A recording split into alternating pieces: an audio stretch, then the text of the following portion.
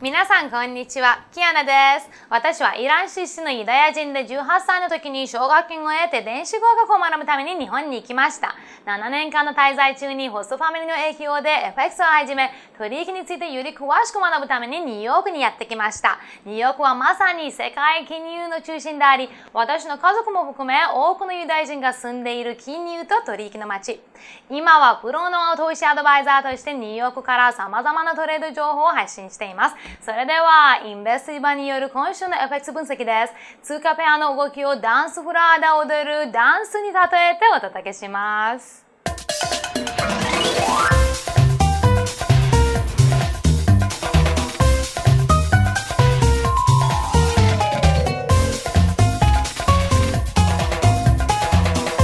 市とレディベードルは未だ新しいトレンドを見つけられず一目の雲の下で右往左往しています。ただし、キーサポートレベルとなる0.8670の上にとどまっており、23%のナッチレベルを上抜けしても上昇トレンドに転じるかどうかは確認が必要でしょう。ユーロドルはキーサポートレベルの上に止まっていますが、一目の雲より下でマーケットはユーロ円投資家のリスク許容度を試しているようです。1.2495と1.2260をターゲットに見通しは弱気のままですが、1.2890を上抜けすれば1.3100を最初のターゲットに強気に転じるでしょう。レディベーデルは日本円に対して金曜日に23%のナッチレベルを上抜けした後に若干の引き戻しを受けました。ペアは一目の雲の上空にとどまっており、104.320の50%のナッチレベルを下抜けすれば見通しは弱気に変わるでしょう。この動画を気に入ってくれた皆さん、インベスティバ .com にメール登録して、